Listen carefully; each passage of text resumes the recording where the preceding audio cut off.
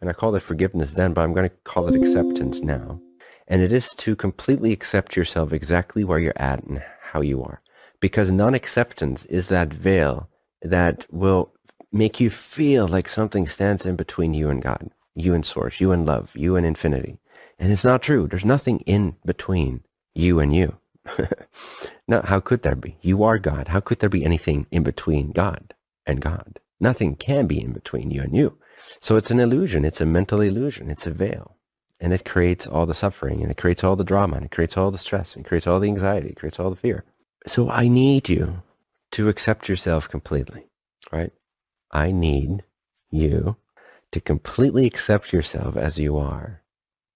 God needs you to completely accept yourself as you are. And don't worry, if you can't do it all the way, God's still going to love you unconditionally, and there's other ways. There's other hacks, okay? God's love is always accessible. This is one of the laws. God is accessible. That's one of the primary laws. No matter what's going on, okay? God's love is accessible no matter what's going on for you. So even in your most blinded, contracted, self-detrimental state, self-judgmental states of consciousness, God's love is still somehow accessible to you. And I hope through the different means of how we're going to be approaching this weekend that you'll be able to have some of these tools in your toolkit to recognize God's love no matter what's going on for you. But it, it would be immensely helpful. Nevertheless, it would streamline the whole experience for you. It would open that aperture by a lot and make it easier for you to recognize God's love if you just radically decide to be done with not accepting yourself as you are, as you are, as you are. Not once you recognize God's love, like two days from now maybe. No, right now, as you are, with all your flaws, all your emotions, all your reactions, all the things you've done wrong in your life and or perceive that you did wrong, to completely and radically accept yourself as you are. It's, uh, it's one of the most profound prerequisites or initial steps that we can take to opening ourselves to that automatic love. Because it's hard to open up to automatic love if, if you're not allowing that in for yourself. If you insist as a personal egoic conscious mind, if you continue to insist that you're not good enough, that you're not capable, that you did something wrong, that you're not there yet, that you're not perfect. All these things. Please, I need you to let them go as much as you can. If you can't let them go, don't start judging yourself about that. Accept that too. If you can't accept yourself, then accept the fact that you cannot accept yourself. Start there. So you always accept whatever is right now. So if non-acceptance is what is right now, then what would love do? What would God's love do? God's love would accept non-acceptance. It's only the human mind that thinks God's love looks lovingly and it doesn't look like hatred, or that it looks kind and it never looks evil or, or bad. It, those are those human concepts, and we'll get more into that tomorrow, how the biases are in the way.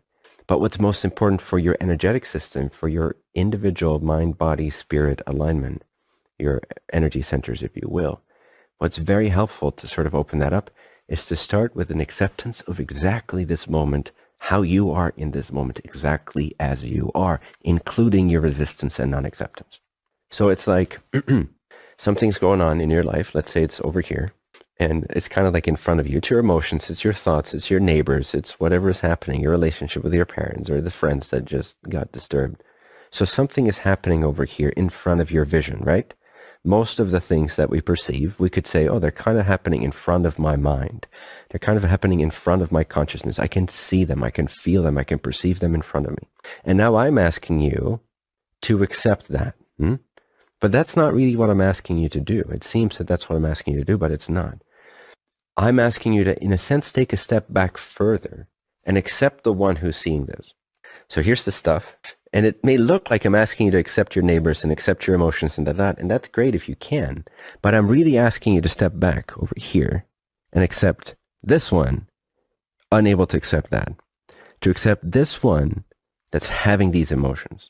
To accept this one that doesn't like their neighbors. So it's, sometimes I've called it quantum acceptance. It's to align with the acceptance of God, which is an acceptance that's always already implicit it's inherent in every moment. It's the fabric of your experience. There couldn't be a single thing that happens to you, through you, from you, by you that's not 100% accepted and bathed in God's love. And I want you to experience this. And some people fear that they'll become really bad people. Then it's farthest from the truth. Nobody who's gotten access to God's love has become a worse person for it. Nobody. Nobody. Ever in the history of this universe. The opposite is a fact, a metaphysical truth. The only thing that produces evil is obscuration. It is cloudedness. It is the veiling. Okay. God's love liberates. And yes, it liberates us from biases such as good and evil, uh, nice and not nice, and all these sort of polar opposites. It transcends that. So yeah, you do become dangerous in that sense to concepts. You become dangerous to taboos. You become you become ingraspable. You cannot be boxed in anymore. But no one has ever become a worse person or lost a bit of their honor or integrity by realizing God's love. Those that realize God's love truly experientially have become more precise, more aligned in their honor, in their integrity, in their love.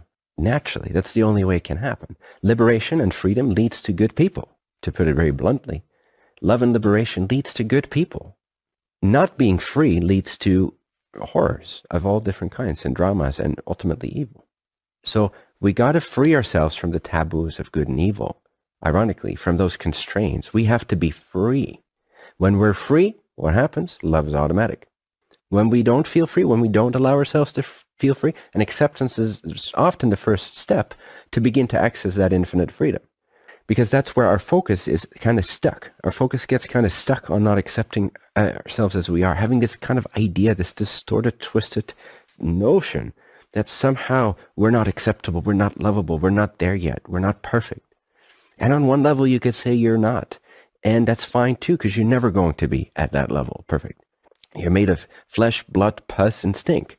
You know, that's just the nature of it. At that level, you're never going to be perfect. You're always going to be blood, pus, and stink, and bones. And so you get my point, right? On that level, yeah, whatever. But doesn't mean that you, as a being, as an aliveness, as a sentience, as the co-creative spark of the creator, that you are not perfect and perfectly loved. And so in order to access that, to know that freedom freely, a first step often is to accept yourself, which, which means accept yourself also having trouble with the things that happen in your life. Does that make sense?